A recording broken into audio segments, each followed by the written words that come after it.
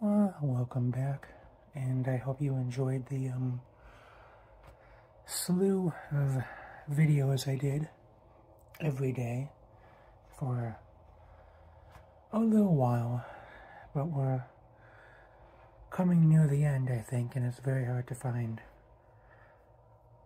things that haven't already been done to death, Christmas-wise anyway.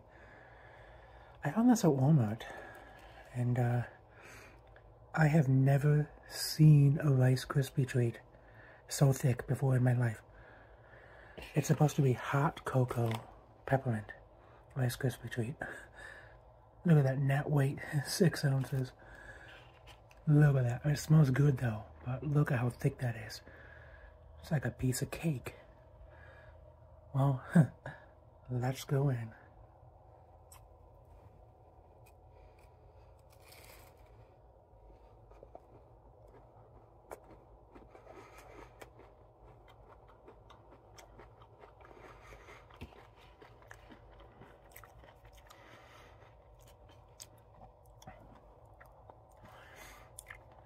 It's alright. You can taste these marshmallows. Tastes pretty good.